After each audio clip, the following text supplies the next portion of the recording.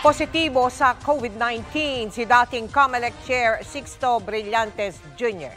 Kinumpirma yan ang kanyang anak na si Zina sa isang Facebook post. Intubated daw ang kanyang ama o nilagyan ng tubo sa lalamunan para makahinga sa tulong ng ventilator. Humihingi ng panalangin si Zina para sa paggaling ng kanyang ama. Nagsilbing COMELEC chairman si Brillantes mula 2011 hanggang 2015.